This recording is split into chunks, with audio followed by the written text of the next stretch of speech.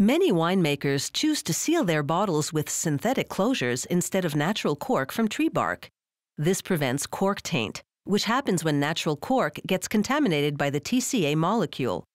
Cork taint is harmless to humans, but causes a musty odor and spoils the taste of the wine. This engineered cork is entirely synthetic and therefore resistant to TCA contamination. It's made of a food-grade polyethylene foam core encased in an elasticized polymer skin. Both materials contract to squeeze inside the bottleneck, but then regain their original shape to seal the opening. To make the foam core, they mix talc with pellets of low-density polyethylene, a pliable type of plastic, then add pellets of dark brown and beige colorant to mimic the wood grain look of natural cork. For each customer's order of corks, a computerized system automatically releases the right amount of each ingredient into an industrial blender. The blender feeds a specially designed dual extrusion machine. The machine melts the foam mix to a liquid state, then injects carbon dioxide. This produces bubbles, which create the cellular structure of the foam. The liquid foam enters the machine's horizontal extruder, while elasticized polymer enters the machine's angled extruder. Both extruders squeeze their materials through the same shaping die, which outputs a continuous rod of skin-encased foam. The foam core immediately expands, the elastic skin stretching with it. A water bath cools the rod, halting this expansion at a specific diameter, then, an underwater ultrasonic gauge measures the thickness of the outer skin to make sure it meets specifications. The rod exits the water bath and continues cooling and shrinking as it drip dries. A laser gauge then verifies that the rod is perfectly round and measures a specific diameter by this point. When any of the measuring gauges detects an area that doesn't meet specifications, that part of the rod is flagged in the system, then discarded at the end of the production line. The rod now enters a final cooling phase. It travels in several loops past nozzles spraying cold water.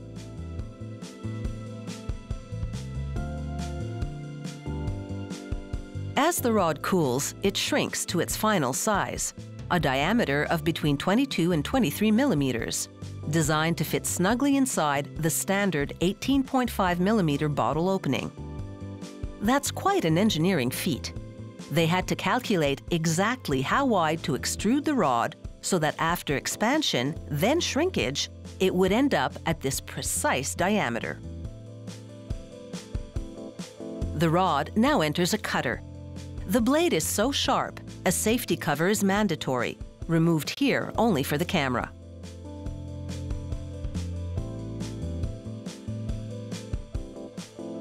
The wine replacing the order specifies the cork length. Air jets automatically blow off any corks cut from areas the measuring gauges flagged as being problematic. The cutter slices about 10 standard length corks per second.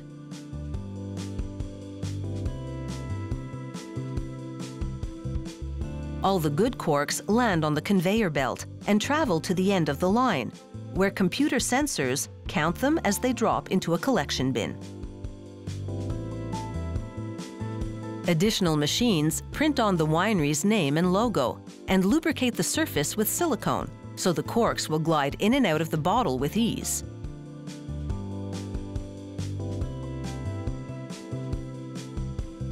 The factory's on-site lab tests samples from every order. Sensory specialists sniff each cork and compare it to a control sample. There must be no discernible odor that might affect the aroma or flavor of the wine. If there is, the entire order of corks fails inspection. While natural cork is designed by Mother Nature, a synthetic cork manufacturer can engineer the closure to fit more or less snugly, according to the amount of air the particular wine needs to develop correctly. This elegant ceramic fireplace is a heritage model inspired by fireplaces of the late 19th and early 20th century.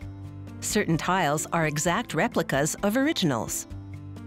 At the ceramic factory, they mix water with three ingredients in a pug mill clay, feldspar, a mineral, and silica, which forms glass. Together, these formulate a clay blend. Once the mix is the right consistency, the operator presses a button and the mill switches to extrusion mode, forcing the clay blend through a mantle-shaped die. This produces a 26 to 38 centimeter long extruded mantelpiece, which they trim with a cutting wire to the precise length required. They use this extrusion method for making longer pieces. If they need shorter ones, they often cast them individually in a mold. When casting, they add significantly more water to the clay blend to produce a liquid clay called slip. They pour the slip into a plaster mold. The porous plaster gradually absorbs most of the water, leaving a layer of clay about 6 millimeters thick on the walls of the mantle-shaped cavity. After a few hours, they pour out the excess slip and open the mold to extract the cast mantelpiece. Once the clay becomes firm enough to handle, they carefully trim off the excess around the opening in the mold through which they poured the slip. Then they gently smooth down the seam along the junction between the two halves of the mold. On the opposite side of the pour hole, they cut out a matching hole this will help the clay dry faster by enabling air to flow through the inside of the piece when they put it in a heated room to dry. To compensate for shrinkage, the molds and extrusion dies are designed 11% larger than the size of the finished piece. Clay shrinks as it dries. To make the fireplace's ceramic tiles, they produce a rubber mold of two adjoining tiles, place it inside a metal casing along with a release system to help with extraction. They fill the casing with an exceptionally strong type of plaster. It sets in about half an hour, taking on the shape of the rubber mold. This plaster casting is the die they'll now use to produce the tiles. They mount the die on what's known as a ram press because it literally rams a block of clay in the die, compressing it with 30 tons of pressure. Like the dies and molds for the mantle, the tile die is also 11% larger than the final size to compensate for shrinkage during drying and firing. They remove excess clay and send it back to the pug mill to be recycled. Then they position a board under the die and activate the release system, which extracts the clay with a blast of compressed air. They trim off the excess clay, leaving just a thin layer connecting the two tiles. Once dry, the tiles and mantelpieces are ready to be glazed. Glaze is a chemical formula containing finely ground silica, the raw material from which glass is made, combined with different combinations of metallic elements to produce specific colors.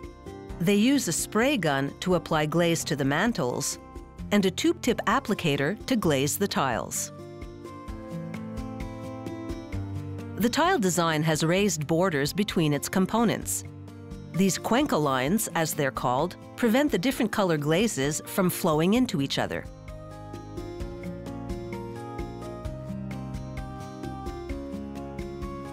The glazed mantelpieces and tiles now go into a gas-fired kiln for 12 to 14 hours.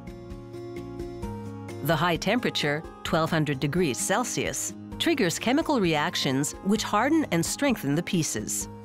The clay's mineral composition transforms into a completely new configuration of crystals and glass. As for the glaze, its precise formulation of metallic elements produces a specific color, and the silica melts into a glass surface. The ceramics are now smooth and shiny, ready to transform an otherwise ordinary fireplace into a work of art.